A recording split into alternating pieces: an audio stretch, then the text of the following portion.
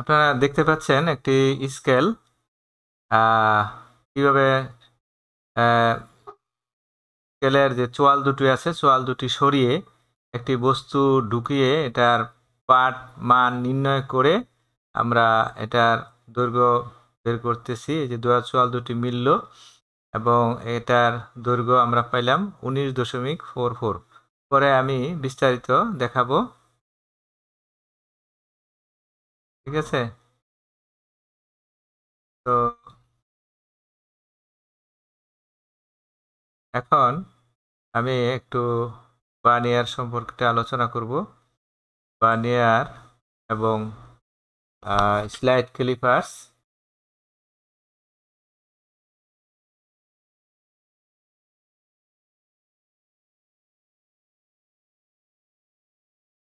Light clippers এক প্রকারের পরিমাপক যন্ত্র যার সাহায্যে কোনো কোনো বস্তুর দুই প্রান্তের মধ্যবর্তী দূরত্ব নির্ণয় করে পরিমাপ করা যায়। এই যন্ত্রের সাহায্যে পরিমাপ করতে বানিয়ার পদ্ধতি ব্যবহার করা হয় বলে অনেক সময় একে বানিয়ার ক্যালিপার্সও বলা হয়ে থাকে। লাইট ক্যালিপার্স মেকানিক্যাল ইঞ্জিনিয়ারিং ধাতুর দৈর্ঘ্য নির্ণয়, কাঠের মাপ এবং কাঠের মাপযোগ বৈজ্ঞানিক পরীক্ষণ ইত্যাদি বিভিন্ন ক্ষেত্রে ব্যবহৃত হয়।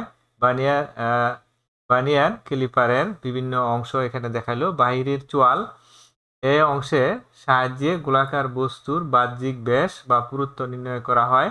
ভিতরের চোয়াল এই অংশের সাহায্যে বস্তুর আভ্যন্তরীণ ব্যাস পরিমাপ করা হয় এবং গভীরতা নির্ণায়কের সাহায্যে বস্তুর পুরুত্ব বা গর্তের গভীরতা নির্ণয় করা হয়। এটা সংক্ষেপে একটু বর্ণনা দিলাম।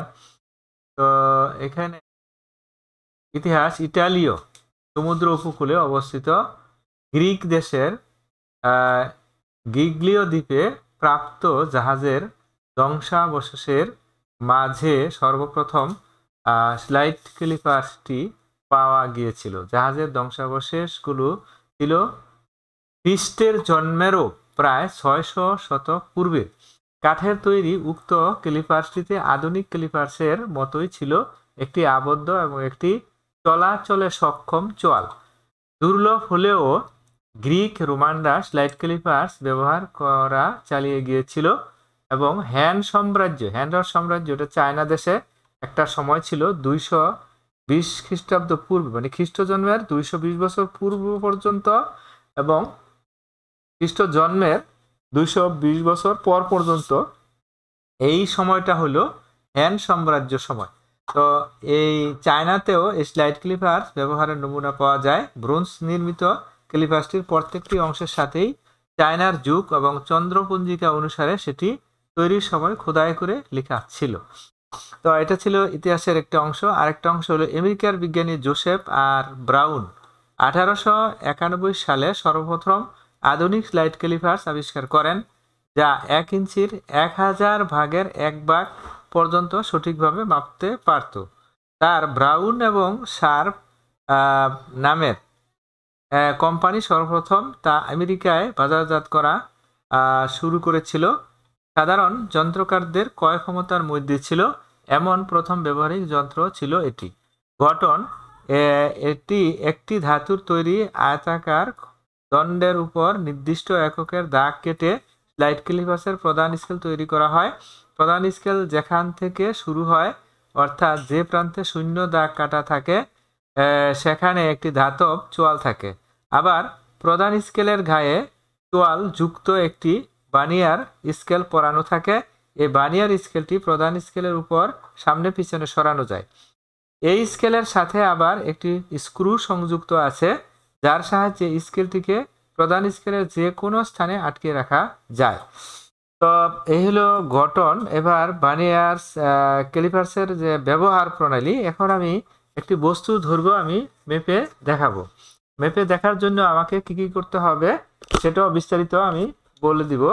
তো প্রথমে যে বস্তু দৈর্ঘ্য নির্ণয় করতে হবে, তাকে স্লাইড ক্লিপাসের সাহায্যে সরি স্লাইড ক্লিপাসের তোয়াল দুটির মাঝখানে রাখতে হবে। তারপর ভানিয়ার স্কেলের সাহায্যে লাগানো চোয়াল সামনে এনে এমনভাবে বস্তুর সাথে লাগাতে হয় যেন প্রধান স্কেলের চোয়াল এবং ভানিয়ারের স্কেলের সাথে সংযুক্ত চোয়াল বস্তুটিকে দুই বিপরীত দিকে থেকে স্পর্শ করে থাকে অতঃপর স্ক্রুর সাহায্যে বানিয়ারটিকে প্রধান স্কেলের সাথে আটকানো হয়। এরপর প্রধান স্কেলের পার্ট এবং ভানিয়ারের পার্ট নেওয়া হয়। এখন বস্তুর দৈর্ঘ্য নির্ণয় করতে গেলে কয়েকটি বিষয় জানা প্রয়োজন। বানিয়ার ধ্রুবক প্রধান স্কেলের পাঠ এবং বানিয়ার সমাপতন এবং যান্ত্রিক ত্রুটি। এই চারটি বিষয় অবশ্যই জানতে হবে। একটা হলো বানিয়ার ধ্রুবক, আরেকটা হলো প্রধান স্কেলের পার্ট আরেকটা হলো বানিয়ার সমাপতন, সমপাতন এবং যান্ত্রিক ত্রুটি। এই চারটি অবশ্যই জানতে হবে। তো এখানে বস্তুটি কীভাবে রাখে আমি একটু দেখাই। এখানে এই যে বস্তুটিকে প্রথমে এই যে প্রধান স্কেলের সাথে, এক প্রান্ত প্রধান স্কেলের চোয়ালের সাথে লাগালাম। তারপরে এখন এই বানিয়ার স্কেলটা টেনে প্রথমে যেটা ছিল, আমার বানিয়ার স্কেল ছিল এটা। এখানে এখন এই, এখানে দুটা চোয়াল লেগে আছে। এই বানিয়ার স্কেল, এই চোয়াল দুটি আমরা ভাগ করব। ভাগ করার পরে এই বস্তুটি প্রথমে প্রধান স্কেলের শূন্য দাগের সাথে এক প্রান্ত লাগাবো, আরেক প্রান্ত বানিয়ার স্কেলের শূন্য দাগের সাথে মানে চোয়ালটা স্পর্শ করাবো। অর্থাৎ এইভাবে সেটিং করব। সেটিং করার পর আমরা এখান থেকে পার্ট নিব। পার্ট নিয়ে তারপরে আমরা এটার দৈর্ঘ্য বের করব। তো তো প্রথমে এটা তো বললাম যে এই চারটি আমাদের বিষয়ে জানা দরকার। একটা হলো বানিয়ার দুর্বক আরেকটা হলো প্রধান স্কেলের পার্ট আরেকটা হলো বানিয়ার সমপতন, যা এই চারটা বিষয় বিস্তারিত আলোচনা করতেছি। বানিয়ার দুর্বক এক নাম্বার। প্রধান স্কেলের ক্ষুদ্রতম এক ভাগের চেয়ে বানিয়ার স্কেলের এক ভাগ ঠিক কতটুকু ছোট তার পরিমাণকে বানিয়ার দুর্বক বলে। ঠিক কতটুকু ছোট তার পরিমাণকে বানিয়ার দুর্বক বলে। এখন প্রধান স্কেলের ক্ষুদ্রতম এক ভাগের দৈর্ঘ্য যদি আমি এস ধরি, আর বানিয়ার স্কেলের বাঘ সংখ্যা যদি এন হয় তাহলে বানিয়ার দুর্বক হবে এস বাই এন ঠিক আছে? অর্থাৎ প্রধান স্কেলের ক্ষুদ্রতম এক ভাগের দৈর্ঘ্যকে বানিয়ারের দশ ভাগ দিয়ে। মানে বানিয়ার স্কেলটার যত ভাগ থাকে। মানে বানিয়ার স্কেলে সাধারণত দশ ভাগ থাকে। দশ ভাগ থাকে, কোনো কোনো স্কেলে বিশ ভাগও থাকে। তো বানিয়ার স্কেলের বাক সংখ্যা, আমরা যদি এন ধরি, তাহলে বানিয়ার দুর্ভোগ হবে ওই যে এক বাঘকে আমরা দশ ভাগ দিয়ে ভাগ করব। ঠিক আছে? যেমন, প্রধান স্কেলের ক্ষুদ্রতম এক ভাগের দৈর্ঘ্য যদি এক মিলিমিটার ধরি এবং বানিয়ার স্কেলের বাঘ সংখ্যা হলো টেন হয়, তাহলে বানিয়ার দুর্ভোগ হবে দশ ভাগের এক মিলিমিটার, অর্থাৎ দশমিক এক মিলিমিটার। এটা সেন্টিমিটার করলে হ্যাঁ দশমিক শূন্য এক সেন্টিমিটার। এটা গেল বানিয়ার ধ্রুবক। আশা করি সবাই বুঝতে পারছেন বানিয়ার ধ্রুবক। আবার বলি যে, প্রধান স্কেলের ক্ষুদ্রতম এক বাঘের চেয়ে বানিয়ার স্কেলের এক বাঘ। ঠিক কতটুকু ছোট, তার পরিমাণকে বানিয়ার দুর্ভোগ বলে। কতটুকু ছোট? এক বাঘ। ঠিক আছে? এখন প্রধান স্কেলের পার্ট প্রধান স্কেলের পার্ট কীভাবে আমরা বের করব? প্রধান স্কেল মনে করি যে বস্তুটির দৈর্ঘ্য নির্ণয় করতে হবে, তার একটি প্রান্ত প্রধান স্কেলের শূন্য দাগের সাথে মিলে আছে। এ অবস্থায় ভানিয়ার স্কেলের সাথে সংযুক্ত চোয়ালটিকে বস্তুটির অপর প্রান্তে স্পর্শ করলে? করতে হবে। হ্যাঁ যদি বস্তুটির অপর প্রান্তটি প্রধান স্কেলের এম মিলিমিটার দাগ অতিক্রম করে, তবে এটি হবে বানিয়ার পার্ট এম মিলিমিটার অতিক্রম করে। ঠিক আছে?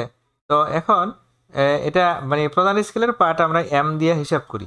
তো এখানে আমি যেটা বলতে চাচ্ছিলাম যে প্রধান স্কেলের পার্ট আমি চিত্র ধরে বুঝাই। আমি প্রথমে এই যে বস্তুটা, এখানে প্রথমে প্রধান স্কেলের শূন্য দাগের সাথে এই চোয়ালের সাথে লাগাবো। তারপরে এই যে হলুদ যে স্কেলটা, এটা হলো বানিয়ার স্কেল। এটা এখানে অপর প্রান্তে স্পর্শ করাবো। স্পর্শ করাইলে এখন দেখব যে এই যে প্রধান স্কেলের পাট হুম, প্রধান স্কেলের পাট কত? এই যে এখানে যেই দাগটা কাছাকাছি মিলছে, তো উনিশের সাথে কিন্তু এটা কাছাকাছি মিলছে। তাহলে এটা, এখানে প্রধান স্কেলের পার্ট হলো নাইনটিন উনিশ হ্যাঁ? এই যে উনিশ, এখানে লেখা উঠছে। হুম, এখানে উনিশ। আবার এখানে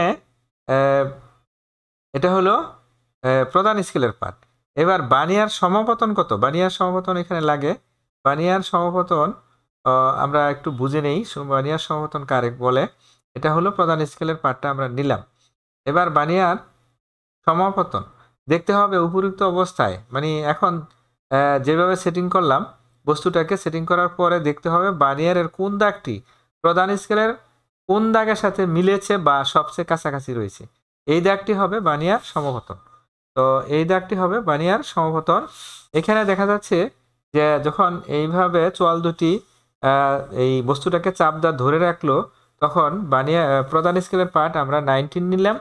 এখন দেখব এখানে প্রধান স্কেলের দাগগুলোর সাথে বানিয়ার দাগ কোন দাগটা সবচেয়ে বেশি সঠিকভাবে মিলেছে অথবা কাছাকাছি হয়েছে? যদি সঠিকভাবে না পাই তো কাছাকাছি হয়েছে। এখন ওইটা হবে বানিয়ার সমপাতন। এই সমপাতনের সাথে বানিয়ার ধ্রুবক গুণ করতে হবে। তা সমপাতন এখানে মোট কয় দাগ? এখানে দেখা যাচ্ছে যে শূন্য থেকে একের মধ্যে পাঁচ দাগ, তাহলে এই পাঁচ পর্যন্ত হলো পঁচিশ আরও দুই দাগ, তাহলে সাতাইশ। তো সাতাইশকে এখানে লেখা আছে বানিয়ার ধ্রুবক কিন্তু এখানে দেওয়া আছে আমাদের। স্কেলের গায়ে লেখা যে শূন্য দশমিক শূন্য দুই মিলিমিটার, এটা হলো বানিয়ার ধ্রুবক দেওয়া আছে। তো এইটা দিয়া আমার এই যে বানিয়ার যে সমাপতন হয়েছে, এর সাথে এর সাথে গুণ করতে হবে। এর সাথে গুণ করতে হবে, তাহলে আমরা এটা বানিয়ার পার্ট দিলাম, এটি হবে বানিয়ার পার্ট ঠিক আছে? এটা তো গেল, আবার বানিয়ার সমাপতনও গেল, বা আবারও বলি যে দেখতে হবে উপযুক্ত অবস্থায় বানিয়ারের কোন দাগটা প্রধান স্কেলের, কোন দাগের সাথে মিলেছে বা সবচেয়ে কাছাকাছি রয়েছে এটি হবে বানিয়ার সমপতন। তো আমি এখানে দেখালাম যে সাত পাঁচের পরে আরও দুই দাগের সাথে এটা সবচেয়ে ভালো মিলেছে। আবারও দেখাই, এখানে যে পাঁচের পরে আরও দুই দাগ, অর্থাৎ মোট এখানে সাতাইশ নম্বর দাগের সাথে এটা ভালো মিলছে আর বানিয়ার দুর্ভোগ দশমিক শূন্য দুই, তাহলে এটার সাথে বানিয়ার সমপতন এবং বানিয়ার দুর্ভোগ গুণ করতে হবে, আমি পরবর্তী সূত্র দেখাচ্ছি। তো এখানে সমপতন গেল, এইবার যান্ত্রিক ত্রুটি, এটা বিশেষ বিশেষ প্রয়োজন। মূল স্কেলের চোয়াল এবং ভানিয়ার স্কেলের চোয়াল যখন পরস্পরকে স্পর্শ করে হ্যাঁ পরস্পরকে স্পর্শ করে থাকে, তখন অধিকাংশ ক্ষেত্রে বানিয়ার স্কেলের শূন্য দাগ মূল স্কেলের শূন্য দাগের সাথে মিলে যায়। আবার কখনো কখনো যান্ত্রিক ত্রুটি থাকলে নাও মিলতে পারে।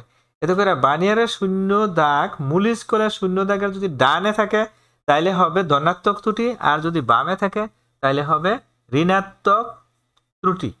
হ্যাঁ বানিয়ার স্কেলের শূন্য দাগ, প্রধান স্কেলের শূন্য দাগের হ্যাঁ ডানে বা বামে যেখানেই থাকুক, যে অবস্থা যেখানে, যে অবস্থায় বানিয়ার যে ডানে বামে যে অবস্থায় থাকুক বানিয়ারের যত দাগ মূল স্কেলের যে কোনো একটি দাগের সাথে মিলেছে, তাকে বলা হয় বানিয়ার ধ্রুবক তাকে বানিয়ার ধ্রুবক দ্বারা সরি তাকে বানিয়ার ধ্রুবক দ্বারা গুণ করলে যান্ত্রিক ত্রুটি পাওয়া যাবে।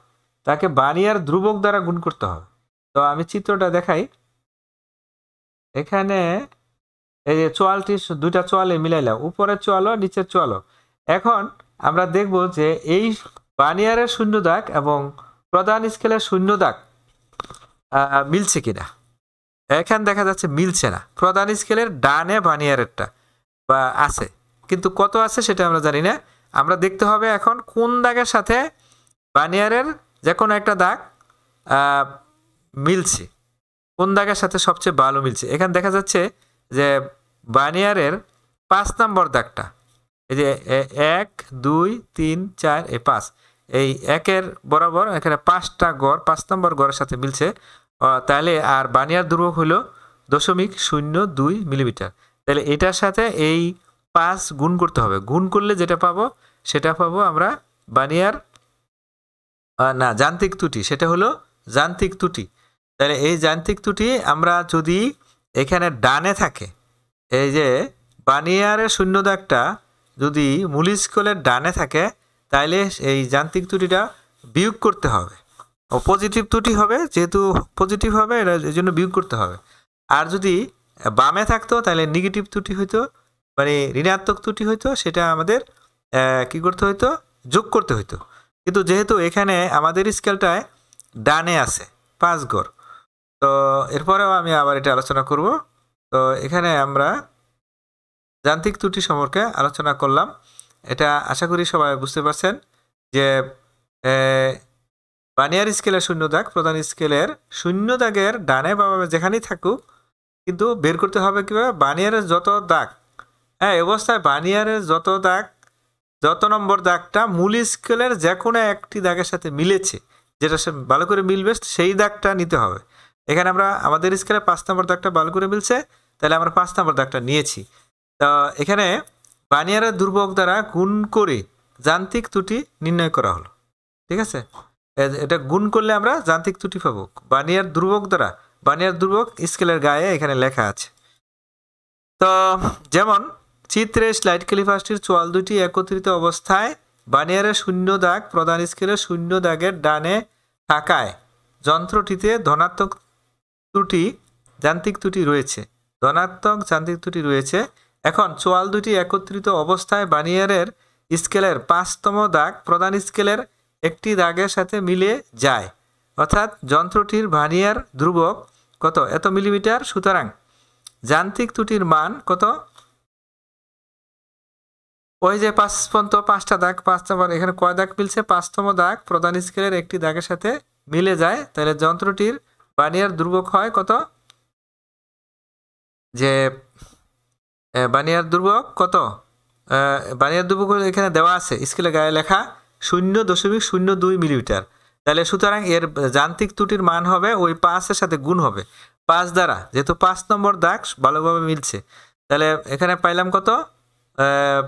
প্লাস, যেহেতু এটা ধনাত্মক ত্রুটি, শূন্য দশমিক পাঁচ দিয়া দশমিক শূন্য দুইকে গুণ করলে, দশমিক শূন্য দুইকে গুণ করলে আমরা পাই দশমিক এক শূন্য মিলিমিটার। বস্তুর দৈর্ঘ্য নির্ণয় সূত্র, বস্তুর দৈর্ঘ্য এল প্রধান স্কেলের পার্ট আমরা এম ধরছি এখানে। এবং বানিয়ারের সমাপতন কত? বানিয়ারের সমাপতন আমরা এখানে পেয়েছি সাতাইশ এই যে যখন বস্তুটা এখানে মিলছে, তখন এখানে এই যে প্রতি গড়ের মান পাঁচ, তাহলে এখানে পাঁচ পর্যন্ত পঁচিশ আর দুই গড় সাতাইশ। তাহলে এখানে সাতাইশ আর এটার সাথে আমার গুণ হইব বানিয়ার দুর্ভোগ বানিয়ার দুর্ভোগ কত? দশমিক শূন্য দুই। তো দশমিক শূন্য দুই গুণ করলে আমরা পাই চুয়ান্ন। তো এটা এখানে তাহলে বানিয়ার সমাপতনের সাথে বানিয়ার দুর্ভোগ আবার গুণ। আর যান্ত্রিক ত্রুটি আমরা আগে বের করে নিছি, এটা হলো যান্ত্রিক ত্রুটি। যান্ত্রিক ত্রুটি এখানে মাইনাস হবে কারণ এটা ধনাত্মক ত্রুটি। ধনাত্মক ত্রুটি হলে যান্ত্রিক ত্রুটিটা মাইনাস হবে। তা বানিয়ার দুর্ভোগ হলো বিসি আর বানিয়ার সমাপতন হলো বি মানে বানিয়ার পাট তো এই ছিল বস্তুর দৈর্ঘ্য নির্ণয়ের সূত্র। তো আশা করি আমরা এই, এটা বুঝতে পারছি, তো আমি চিত্রের সাহায্যে আবার একটু ডিটেলস বুঝাই দিচ্ছি।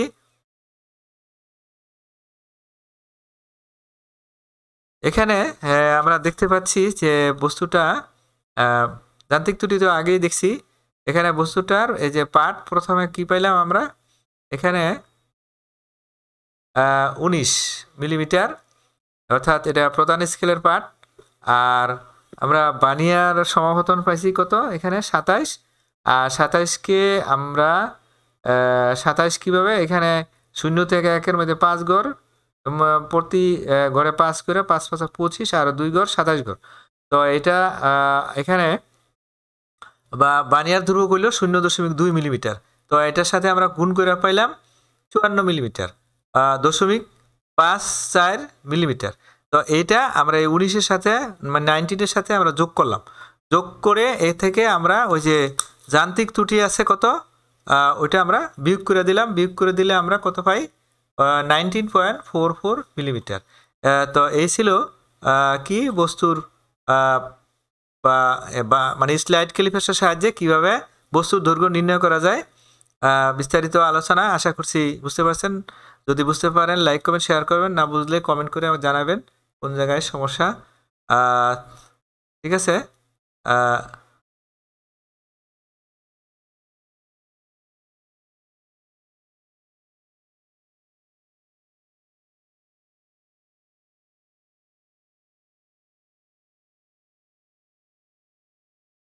তো আজ এই পর্যন্ত আল্লাহ হাফেজ।